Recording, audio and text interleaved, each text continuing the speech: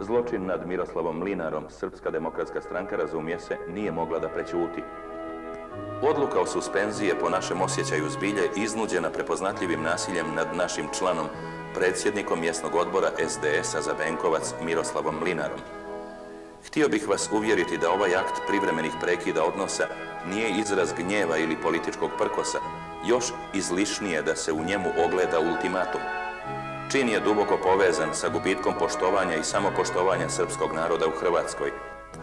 Nama se činilo da je ovo najbolji i najbezbolniji način da se napadnuto samopoštovanje i poštovanje ponovo uspostave.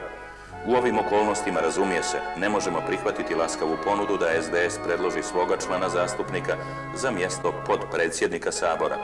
Odustajemo od kandidature Jovana Opačića. Jovan Rašković. Svaki razgovor o Srbima i Hrvatima mora početi od Jasenovca. Jasenovac je dokaz srpske nevinosti i hrvatskog zločina. Jasenovac se može oprostiti, ali se ne smije zaboraviti.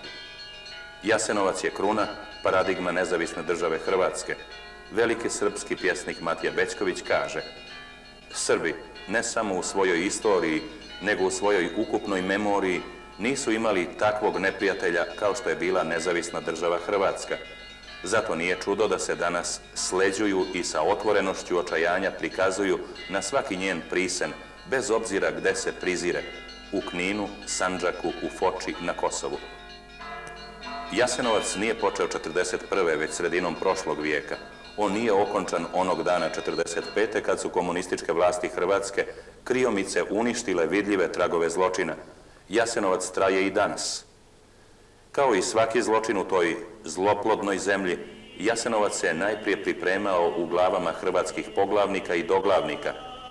Ante Starčević i Eugen Kvaternik, osnivači Hrvatske stranke prava, danas ponovo zvijezde vodilje HDZ-a, 80 godina prije nego što će početi Magnum Krimen, udarili su kamen temeljac Jasenovačkog logora smrti. Čemu priznavati na svetoj našoj zemlji infaniju Serbeži, samo izdajica domovine i kervi svoje, izdajica uma i znanosti, može vere radi reći na svetoj hrvatskoj zemlji da je Serb, a ne Hervat. Otvoreno velimo dotičnim da će hrvatski narod znati osvetiti takovo izdajstvo uništiv nakot vere.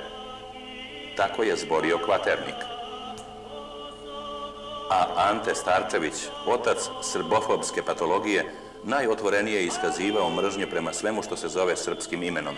Avaj mržnja nema granica.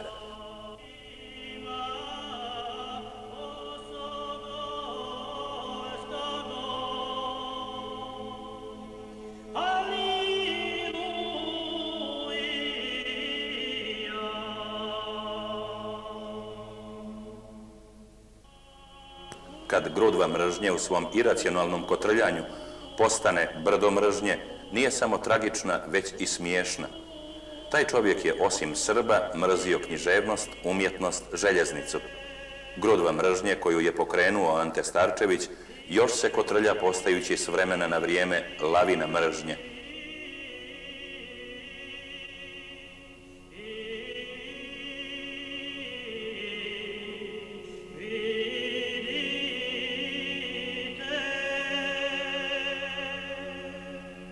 Iz Starčevićevog patološkog uma se ispilio Josip Frank, jevrejsko-katolički konvertit, a iz Frankovaca Ustaše i Ante Pavelić. Sve su to danas i 71. i 90. najznamenitije hrvatske ličnosti. Jasenovac i HDZ su ponikli iz te zloplodne zemlje. Da li će iko ikada, ikako moći da razumije i objasni stravičnu destrukciju kame i jame Jasenovca. Znaju li danas oni koji obnavljaju aveti kama i jama u čijem su zagrljaju? Ustaška i HDZ-ovska satanizacija Hrvatske jednom je koštala srpski narod. Jednom i nikad više. Ti zločini se nikad ne mogu zaboraviti, jer je pravilo historije da se zaborav kažnjava ponavljanjem.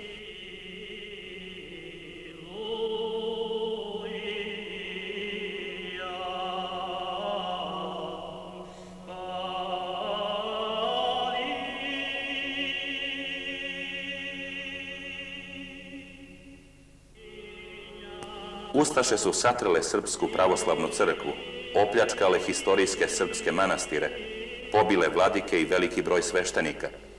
Takav zločin katoličke crkve nad pravoslavnom crkvom historija prije i poslije toga nije upamtila. Komunističko zatiranje pravoslavlja je bilo neuporedivo manjih razmjera, no ne i manje historijsko-civilizacijske odgovornosti.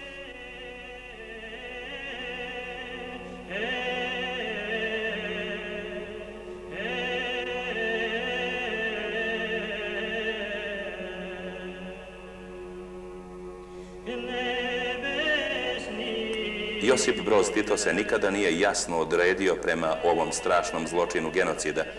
Nikad nije pokušao da spasi preko 700.000 Srba od ustaškog klanja. Nikad se nije poklonio senima nevinih žrtava u Jasenovcu. A njegov najbolji prijatelj i najodani saradnik, Stevan Krajačić, izjavit će da jako žali što u Jasenovcu nisu poklani svi Srbi iz Hrvatske. Godine 90. 16. septembra na 49. godišnjicu stvaranja Jasenovca do zuba naoružani hrvatski redarstvenici zaustavili su srpsku delegaciju koja je htjela da položi vijence na grobnice preko 700.000 pobijenih Srba.